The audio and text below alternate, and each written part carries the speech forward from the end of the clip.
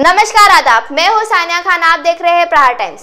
Corona virus का कहर अब भी दुनिया भर में चल रहा है। महाराष्ट्र में कोरोना संक्रमितों की संख्या में बढ़ोतरी देखने को मिल रही है। कोरोना के चलते लॉकडाउन थ्री की घोषणा भी कर दी गई है और मजदूरों के लिए स्पेशल ट्रेन भी चलाई जा रही है।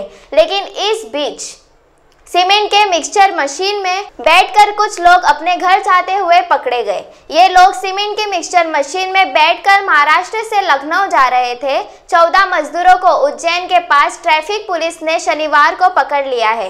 ये मजदूर लॉकडाउन की वजह से कामकाज बंद होने के कारण परेशानियों का सामना कर रहे थे। डीएसपी ट्रैफ़िक उमाकांत चौधरी ने बताया कि शनिवार सुबह इंदौर उज्जैन सीमा के पंत पीपलिया बॉर्डर पर ट्रैफ़िक के जवानों ने एक मिक्सचर मशीन को निकलते हुए देखा। सूबेदार अमित यादव को लगा कि जब निर्माण का काम बंद है तो ऐसे में ये मशीन इतना लंबा रूट लेकर कहाँ जा रही है?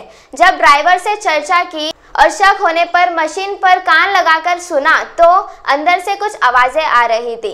ढक्कन खोल के देखा तो उसमें चौदह मजदूर बैठे हुए थे। फ़िलहाल मजदूरों को एक गार्डन में रोका गया है। जल्द से जल्द ही उन्हें बस के ज़रिए उनके घर पहुँचा दिया जाएगा।